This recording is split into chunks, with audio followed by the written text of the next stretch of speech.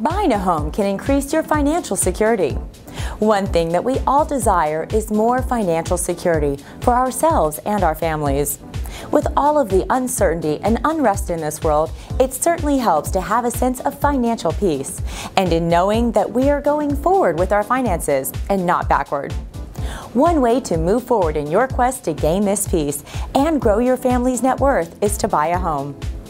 Buying a home allows for the opportunity to own an asset that should appreciate over time, unlike renting, which will never give you that opportunity. Home ownership offers up tax advantages when you finance a home that renting does not. In some cases, depending on your tax rate and how you file, buying a home can mean up to several thousand dollars a year in bottom line tax savings.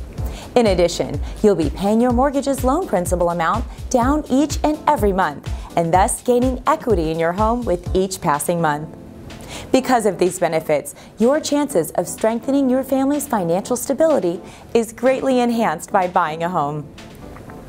A recent study conducted by Michael Grinstein Weiss and a team of researchers backed up this claim with some findings that were recently published in the journal Housing and Policy Debate.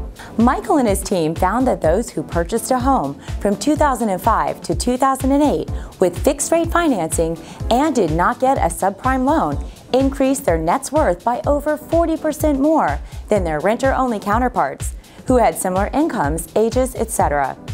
The fact that this study was done for those buying during the Great Recession time period just underscores that buying a home is still the best way to solidify your family's opportunity for long-term financial stability.